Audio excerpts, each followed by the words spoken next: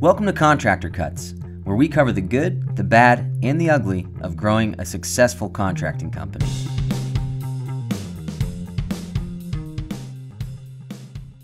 What's going on? Welcome back. My name is Clark Turner. I'm Jared Flo. Thanks for joining us again this week. So, this week, we are revisiting the grind list, the grind list 2.0. Yep. This Yep. is uh, our list of if you're looking to churn up work, which we've heard from some of the people we're coaching. Hey, I just need more work.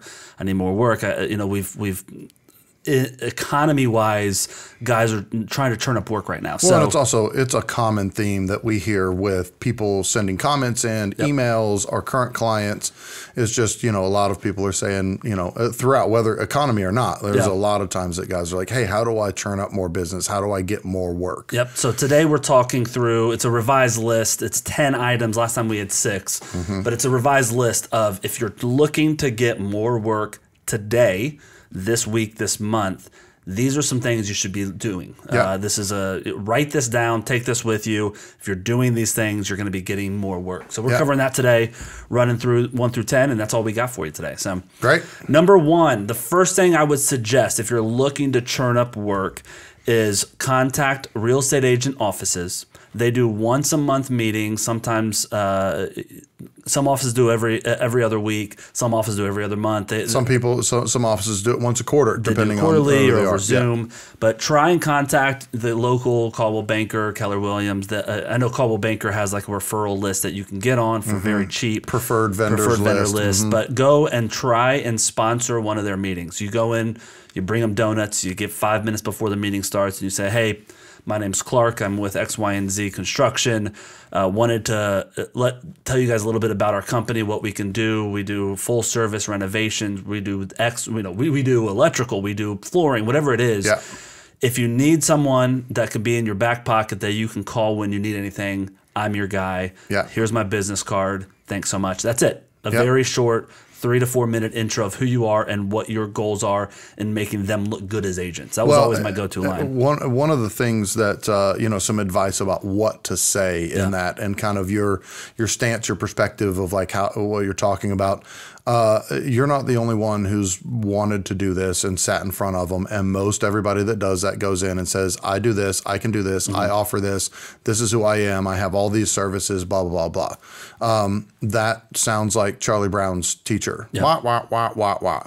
What you do is you identify what are their problems, what are they struggling with, what are their needs, and then you know state those things. Here are the problems that I've seen. Are those right? Do you do you guys experience those? Here's how what I offer can help solve that. Yep. Right? By doing that, you actually in their brains they start seeing themselves. Oh, dude, I wish I had had him to call Yep. at this time. Well, at that and, time. and I'll, I'll I'll give you what that problem is that they're looking to solve. Real estate agents want to not be a general contractor, and homeowners usually push the the the their real estate agent, to, agent, to handle it all because they, they're in the industry. Right. So what I always did, uh, I, I approached real estate agents and said, "Hey, listen."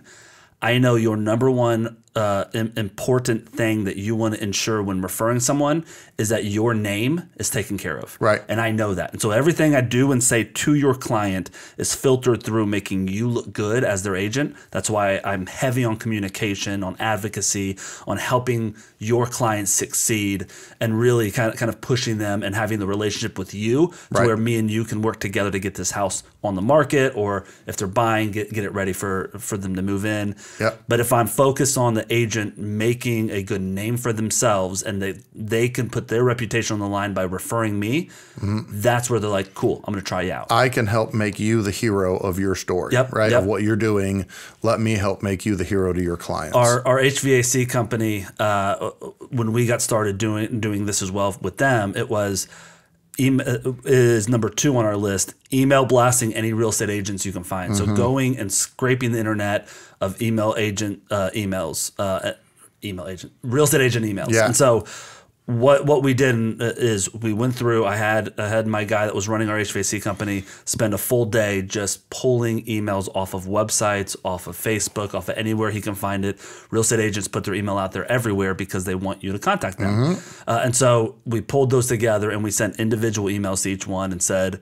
Hi, my name is so and so. I'm with this company. We do HVAC work in your area. I know your reputation is important. I want to make you a better agent by being on your team. I want to prove myself to you. I'm gonna uh, if you have any HVAC needs at your personal house, I'm gonna do it at cost for you. I want to show you what we can do. Uh, I'll service your system. Uh, I'll do a, an annual service for 80 bucks to try and show you what we can do. Whatever it is. Well, and that uh, like offering something like that to them personally, uh, you'll get calls. Yep. You Yep. will get calls. And they have this code of ethics where they can't take free stuff to mm-hmm. refer you, but at the same time, I, let me show you what I can do, and show you my communication and how I show up when I say I'm mm-hmm. going to show up. Yeah. So that's number one and two is visiting the offices. Number two is you. If you're listening to this right now, sitting at home saying, "I got no work. What do I, what do I do?"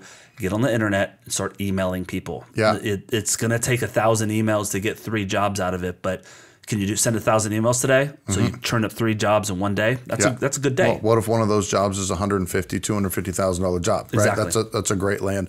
Going back real quick to Yeah. to, to number one, um, this is uh, this is an interesting thing, but you know some going into the real estate agent offices doing the thing and then and then handing out business cards is fine right but a business card is it's trash Yep. right it's it's going to go into the the clip the you know the thing the the drawer with all of them um, having some kind of trinket some kind of widget that's got your name that's a helpful thing right? Um, it could be a stress ball. It could be a uh, uh, one that you've got in your drawer, a um, tape, measure. measure, Yep. right? That you've had for years, Yep. right? Because it's I, I could use a tape measure. Bosch just, HVAC yeah, that's it. gave me a tape measure once, and I'm like, oh great. Yeah. You all, uh, we can all always use another tape measure, right? Yeah, so th- that is a helpful thing to help you stand apart. And also, when that real estate agent goes back to their desk, again, your card goes into the the, the card drawer with everybody else's, but the pen, the pencil, the the tape measure, the thing, some kind of trinket, widget, doodad that you know they'll keep. It could be useful. Even you know if you don't go that far, a magnet, Yep. right? Something that like it's it's got it can't go in a drawer. I mean, I guess it can go in a drawer, but you typically just put it somewhere. So what I used to do when I was doing, I, I had every single real estate office in Atlanta when I first started, 18 years ago, 20 years ago, whenever it was, and uh, I would go in, I'd leave my cards in their break room, I'd give my card personally to each person, and I'd have a uh, five by seven flyer, Mm-hmm. and I'd pin it on whatever pin boards that they have back in their office, because Uh-huh. they always have some sort of cork board on the wall. Oh, yeah. And so I would do that. And then whenever I was in those areas again, I'd pop into those offices two months later, say hi to the front desk, say, hey, just dropping off more cards. They don't. The front desk doesn't know what you're there for. Right. And I walked right back to the same spot, put more cards down, pin more stuff on the on the, and I would I would just keep visiting because once you're in, you're in, and, Yep. and once once you have have it there, you're Well, and that's a th- that's one that you know sometimes you you you can churn up immediate work, mm-hmm. Um, and you know a lot of times you can. You could you know it might be a small little thing or whatever, but that is a that, that is an investment that keeps on giving years and years and years later. We still get calls from when you did that 10, 20 years ago. Yep, I'm still in their phone. Yeah. That was the other thing I'd say is listen, you, you don't need me till you need me, and then you're not going to find me. Right. And so what I want you to do, everyone pull out their phone, add me in as a contact. I'd say this every single Mm-hmm. time, and have them put me into their phones to where now, say, put me under contractor. Yeah. Search contractor in your phone, you're going to find me. Yeah. All right, so that's number one and number two, both both with real estate agents. Mm-hmm. Number three, great spot as a as a contractor to churn up work. Insurance agents. Yep. If you're hitting in insurance agency uh, offices, going in, talk to them about what you do, leaving your card. How do I get in with you? What do you need? What level of insurance do you need for us to work with you? How do we get your, your clients? That's a great way to churn up guaranteed work because insurance agents are working with the flooded floods in houses, fire houses, um, Mm-hmm, Insurance damage required yeah, repairs. trees Yeah. coming through roofs th- type stuff and they their biggest issue for them just like agents is dealing with the right contractor because if an agent if a insurance agent has a bad contractor and they're trying to pay the wrong person it takes a ton of their Mm-hmm. Oh, yeah. time to settle that claim so But it's just like a real estate agency, um, insurance companies. Both of them have a list of preferred vendors. There's a lot of times that, um, you know, whatever you've got a remediation that needs to be done in your kitchen, and you need all the you know need all that taken care of. They'll give you a list of hey, here's some, here's a list of some preferred vendors. Yep. You don't have to go with them, but Yep. these are the people that we know, um, which will land you jobs because, uh, like we've said in many, many podcasts, clients are afraid to call just random off the internet contractors because they're afraid they're going to get screwed. If there's a preferred list from an agency, it feels like, oh, they're more trusted. They're vetted. They're, they're vetted. Yep. Right. That's so, right. Yeah, and again, just like real estate agents, insurance agents, your service to both of those are convenience and ease. So Yep. I'm not selling them how great I am at doing a kitchen. I'm telling them, listen, I understand your job and I am going to make it easier than the other guys. Right. Mm-hmm. That's all they care about. They don't care if you're twice the price. They want the, they want to do less work. Yeah. Yeah. Right. All right. So number 3 on this list is our cross trades. Number four. Oh, you're right. Number four on the list. So, not good at reading. that's Number right. four on our list is cross trade. So, if you work with a water remediation company or a waterproofer who does basements, they they don't do put back often, right? Right. So, make those connections. Start talking to them. Talk to your flooring installer. He works with a ton of different people. Say, listen, I'm gonna I'm gonna throw you a referral fee. If you can refer anybody to me. I'll, I'll use you for the flooring, obviously, but a lot of times people are reaching out to you for flooring and they want their whole house done Yep. uh, talking to cross trades like that, electricians, plumbers, all those, uh, all of those uh, specialty trades that are not just working for you, but are working for homeowners as well. Yeah. Toss some referral fees. Try to try to get in with their clients as well, uh, and and try to have that partnership. Well, with them. that, that, that, that can be an opportunity for them once you let them those people know, like, hey, I would love for you if you run across anything that you could introduce me into a new client that you do work for, or you're at a client's property and that comes up that they need something that you know that I can handle. I'll give you a referral fee for that. So that you know, electricians on site and they hear somebody talking about, oh, we need to find somebody to do this thing. Hey, I got a guy that that you know, Yep. and so it just becomes if it's on their brain, they're going to naturally kind of help uh, uh, make that connection for you. Like, hey, man, I might make a couple hundred bucks just Yep. from sending this guy over there. Yep. You know, That's right. All right, number five, investor groups and RIAs, Mm-hmm. uh, as well as like a chamber of commerce type group. So uh, RIAs are like the real estate investor groups that uh, a a lot of cities have them. Like we're in Georgia, there's a Georgia RIA, there's Yeah. a, t- a Tennessee RIA that, that we've talked to. So there's different RIA groups in different areas. Um, there's an Atlanta RIA, not just the Georgia one chapter. So there's a, a there's lot a of dia. Wait a minute. Di- the diarrhea. Uh, no, there's a, a lot of different groups like that where investors get together, work together, network with each other. You might have to pay a fee to go to one of those. It's worth it. Meet Yeah. those people, get get uh, acquainted with them. I hated those. I am not. I am not an extrovert. I'm not Yeah. Jared. I don't enjoy those settings. But I would turn it on and fake it. Show up to Yeah. those, uh, and say I'm not leaving until I get ten business cards. Because Well, I'd, I'd bail out pretty quickly if I didn't have a goal. And the and the benefit of those different than uh, you know insurance agents and, and real estate agents. Those are kind of spotty hit or miss when they come come around. You make some connections over there with some you know individual investors who are buying and flipping properties or buying and holding properties, and they just need somebody to come in and execute really quickly. You work your way into a place where you're doing jobs at a property that are vacant, Yeah. right? That become easier jobs to just get in, get out. You're not dealing with homeowners. You've got one per, you know, so you can get into a level of business that allows you to um, create some stability of cash flow. Yep. When there's ebbs and flows in the homeowner world, you might have built some investor relationships that are, are, are able to bring in some steady cash flow. Yeah, and, and your pitch to an investor is, is twofold. One, I want to partner with you. You know, your job is finding, renovating, and selling, or Mm-hmm. Yeah. finding, renovating, and renting. Right. Most of the time. Sometimes you don't renovate. Great. Don't don't have me be part of those deals. Right. But let's partner in this and get these houses done quickly and efficiently, to where you're not having to be a GC. And Mm-hmm. Right. then I say, if you're doing one house every six months.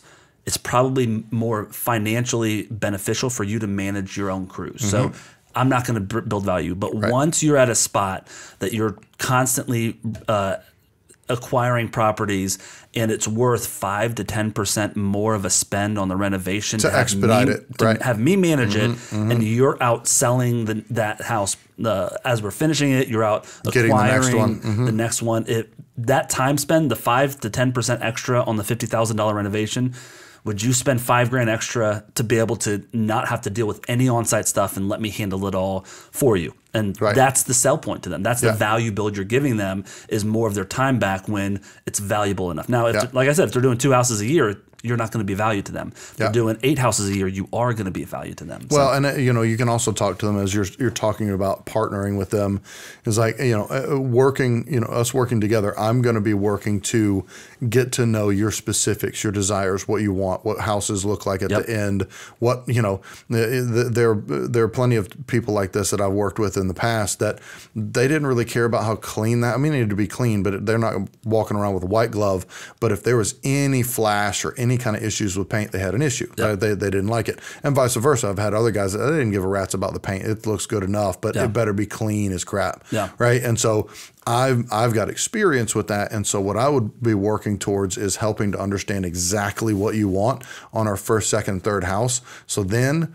It's just a wash, rinse, repeat, and you've gotten less and less that you need to be interacting with me because you know that I understand what you want delivered. Yeah, and we do we do a little less uh, markup on investors Mm-hmm. because we're doing less work. I don't have to do the hand holding. I don't have to clean the house up and deal with your wife cooking dinner tonight. And so the tools were in our way, and this was an issue. Uh, can you all come out here and do this? I'm not. There's a lot less hand holding Right. that's needed, so I don't need to I mark can it up afford as to do it a little bit less. Right? Yeah. I don't need to build in the profit for myself for walking through Home Depot to pick things out. Mm-hmm. Well, I mean, technically, the, the reality is if it's a 10 day job, if I apply a homeowner into that 10 day job, it now became a 20 day job. Yeah. Right. I mean, that's just the reality of it. But because there's no homeowner and we can come at five o'clock in the morning, we can leave at eight o'clock at night, depending on, you know, uh, HOAs and all that stuff. But it allows us to be able to execute a lot faster, which means that the management overhead is less. Yep. So I, I can charge less. That's right. So number six, investor group. I'm sorry, uh, Facebook groups like an investor Facebook group.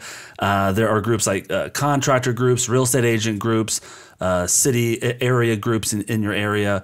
Get on Facebook, and what you need to do is every day post respond to other people's posts have Yep. a conversation the more you talk in those groups the more you're visible to the people in those groups uh, Mm-hmm. as the, the algorithm works with facebook so the more that facebook says hey this guy's a contributor here let's show him to more people Right. and so i'm not just pushing i'm giving value to others i'm giving value uh, I, you know I, there was a uh, I forget what, what it was. It was a local group that I, I remember I used to post in all the time, and I it was it was a mom's group actually, and uh, my wife was a member of it, and I would go in as her and just post, "Hey, uh, my husband's a contractor. If you need help with that." Right.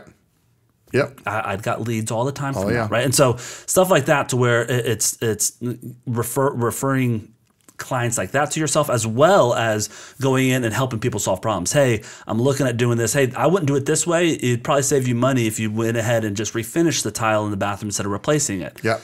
Let me know if you need help with that. But yeah, that's what I'd suggest doing. people are attracted to uh, a, a person who's giving away free things, free Yes. advice, free direction. Yep.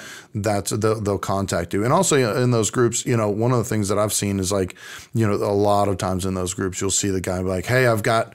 You know, X amount of square feet of sheetrock that I need installed. Can I get somebody? Is there somebody out there that can can help me with that? that person is doing other things than just sheetrock. He's hmm. got a bigger scope of things happening. Make a contact. Say, hey, what are you doing? Uh, you know, I I offer these services. Is that something that I can come in and work with you and kind of expedite this stuff, so you're not out here trying to find all you know. So Yep. just working to find uh, uh, relationships and networking out there, and you you'll end up in front of people. They're like, I'll I'll put you to work. You right. you expedite what I'm trying to do. That's right. All right, number seven on the list. We are going to email every past client. There's three types of clients that you have in the past. You had a bad, they had a bad experience with you. They had a good experience with you, and they didn't choose you and went with somebody else. Right. Right. And so in the software, the, they didn't choose you, they went with someone else. Those are all going to be the dead estimates. Yep. Right. The, that category of estimates that that went dead. So what I'm going to do is open up my dead estimates. I'm going to go in and I'm going to start sending the same email to each one. Uh, if it was a recent dead estimate, I'm going to say, hey. Would you mind sharing with me how the job went? Is there anything I can do to help you? A lot of times the job doesn't go well because they picked the other guy who's cheaper. And Yeah. the cheaper guy is terrible service. And so, A, we've talked about this in past podcasts. If I lose a job, I'm following up in a month and a half saying, Hey, how's it going? Anything I can help you with? Yeah. But even if it's a year later, I can still email say, Hey, just so you know, I'm still here. If you need anything, let me know. Mm-hmm. Because they probably had a really bad experience with whoever they picked. There's a good chance. Right. And they're going to need someone in the future. And so I'm reaching out to those people saying that. Now, if you had a bad experience with me, I'm reaching out saying, Hey, Jared, listen, I, I know that we did that basement for you, and there were those three hiccups. I first off, I apologize about that. A lot of that's changed on how I communicate. I'm on this software now where I'm communicating weekly. I'm doing this, this, and this.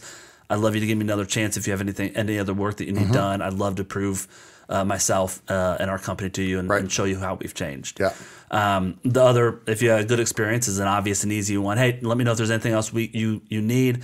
Uh, you know, I live and die by referrals. If you have anyone in your neighborhood or family and friends that need any work, please let them know I'm available for this to them. I'd be super appreciative uh, of of any sort of referral that you have. Right. Uh, Right. Mm-hmm. So those are kind of the three different types of clients that you're going to be emailing. But just go through them. You've got them all in your computer. You've you had those conversations and spent the time getting to know them and them getting to know you. Utilize that Yeah. that uh, time spent that you have in the past. The the interesting thing about uh, the the dead estimate one is that you know in the client's brain they uh, whether they you know think about it or not their feeling about you is that they rejected you yeah. right they said no they rejected you and so even though they're having a bad time maybe with the contractor they're currently using they're going to be less likely to pick up the phone and call you and say hey my bad i'm sorry i rejected you but could you help me Yeah. right so by initiating that conversation you're kind of breaking Open that the door. you're opening the door and saying, "Hey, no harm, no foul. If you need some help, I'm glad to help you out." Yep. Um, you know, bad experience. The the uh, one of the things about that is, you know, you're most of the time you're not going to get a job from the person that got the bad experience, mm-hmm. right? Most of the time, it's a small percentage you're going to get it, but people are going to ask, "Hey, who did this renovation?" Right? And if you haven't made that contact, they're going to be like, "Oh, this dude, you don't want to use them." Yep. Right? But if you've made that contact and said, "Hey, I'm sorry about that experience. I'd love to help you out. Here's a couple of things that I've implemented to help." Uh, circumvent that situation from happening again. The, when there's somebody asking them about it, they might say, "You know what? It wasn't great with me, but the guy called me and told me some of the things that he's implemented. You might want to try them out." Yeah. Right? So the, it it opens up the opportunity for some more referrals by right. doing that one. All right, number eight uh, out of ten mm-hmm. is our housewarming parties. Now, this one isn't. I'm going to get work by Friday, but Yeah. what we like to do, if you have a large job, if you have a high end job, if you have a nice kitchen, mm-hmm. something show showable, is we sponsor housewarming parties for our clients. So, I just let's say I just finished Jared's brand new kitchen. He spent 120 thousand on this amazing kitchen all uh, you know all high end He's Right. got uh, you know his house is worth 3 million he's got a ton of neighbors uh, in that neighborhood with all with the same house Mm-hmm. the same uh, level of disposable income Uh-huh. i'm going to say jared let me sponsor a housewarming party for you what we like to do is thank you for choosing us for this for this renovation uh, And let you throw a party to show it off. we're gonna show we're gonna show it off for us. What we get out of it is we get to meet neighbors or anyone else that Mm-hmm. sees your kitchen and loves it. For you, it's it's a way to uh, us to say thank you and just throw you a party. We'll bring in some barbecue or some tacos, Chipotle, know, whatever. uh, right. and and you know it Maybe costs some maybe some drinks or costs whatever. you three Yeah. hundred dollars in catering, and it Mm-hmm. costs you you know hundred and fifty in in some alcohol. And honestly, if you if if you spent a thousand dollars and really knocked it out of the park and brought a bunch of different stuff, Yep. you look at it as a thousand dollars worth of marketing, but you're in front of people that are going to be actively interested. Yep, yep. The, You know? That's the best referral you're going to get. The Yeah. the hottest clients that you're going to meet are their neighbors because usually no one's renovating a house that was built two years ago. Right. Right. That three million dollar house is probably 15 years old and is ready for a turnover, which means the whole neighborhood's there for Mm-hmm. That. Yeah. So that goes into number nine. Also, if you're not going to go at, all out with a home uh, with the housewarming party, number nine on our list is I am going to do neighborhood mailouts Mm-hmm. uh, to the neighbors that I'm working on. So uh, same situation. We just did this Just did uh, it, in yeah. Atlanta. We had a house in a neighborhood that we're like, this is a great neighborhood. It's the aged right. It's the right uh, level of income. Uh, so we're gonna put a sign in the front yard. Uh, we had actually done a, a couple of jobs in that neighborhood, and I actually had a friend in that neighborhood, and we put signs in all of those. We said, "Hey, we're gonna do a mail out to your neighborhood." Neighborhood's riddled with uh, Yeah, we've got like four signs out in the neighborhood right now because we're like, hey, I know we renovated your house two years ago, but we're about to do a mail out to the neighborhood. Would you mind me sticking a sign in the front yard? If they had a good experience, like, yeah, go ahead, stick it Yeah. out there for a week. That's fine. Yeah. And then I, I have four signs in the neighborhood. Even if you don't, even if you have one, put put your sign out in the yard. I'm gonna have my. We had our office manager write out every address because it was handwritten on the Mm-hmm. on. And how do you, how did she do that? Well, we went to Google and found the address uh, on the government website of everybody on that street. You Yep. got names, address. All you got to do is go to uh, the government website where you're looking up properties and you search for the street name, and it's going to pull up every street name in that city Yep. uh, with that, that matches there. So we searched street names, we pulled up all the addresses and their names, and hand wrote that on the on the front. Yeah. We then printed out. Hey, we're in your neighborhood working. Your neighbors love us. We'd love to. We'd love to. If you have anything that you want us to look at while we're here, we'd love to look at it. We're already in the neighborhood. Call this number. Send an email here. Go to this website if you want to get a free estimate going today Right. right? Uh, and we have a signature at the bottom uh, from our general manager. Then we also get a quote from one of the people that we've worked with in the neighborhood and highlight that at the bottom from your neighbor on Oak Avenue. Yeah. This company was amazing at blah blah blah blah blah whatever it is, and Yeah. we put a highlighter on that to to make it extra, you know, jump out to the person. And if they it. haven't given you a quote, you can actually write a quote that you think that they would say and go say, hey, would you mind if I put this as a quote for you? Yeah, yeah, yeah. that, Uh, that's exactly my, right. My email to them is, "Hey, we, we're going to do a mail out, and I'd love to get a quote from you if we've earned it. Yeah. Um, here's some other quotes we've used in the back in the past. I can use one of these if one of those hit to to Mm-hmm. Is accurate. Mm-hmm. accurate to your feelings. Yeah. Or if you want to give me a quote, great. Or if you don't want to use a quote, no problem. I, I don't I don't need to use a quote from you. Yeah. Up to you, right? And so a lot of times we're like, yeah, that first one that is there, go ahead and use that. That's how I feel about it. Yeah, and but that's a really important piece of it because if a if a homeowner blind doesn't know anything about you and they get a mailer of like this thing, uh, there's no connection. Yep. But if you're like you know George Smith from down the street or, or Mr. Smith from around the corner from you said this about us, there's a there's a little bit of connect of like oh yeah I do remember seeing that yard sign in his yard. Yep. Right. So it creates that validation. It creates a little bit of trust of like hmm well I, I am interested in get Yep. the interior painted or Yep. whatever. That's right.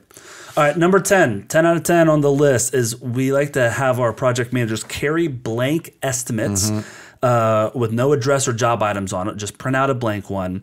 And when they're in the neighborhood, when they see a house that is maybe the roof's old, maybe the siding Got is some soffit and fascia rot. whatever, it is. I'm going to write out on hand write on the quote from the street. I see this. If there's anything on the inside you want quoted, let us know. Here's kind of our pricing. Want to introduce ourselves, and we tape it to the mailbox, and we keep going. We're not allowed to open mailboxes legally, but Right. I can tape it to it. So Right.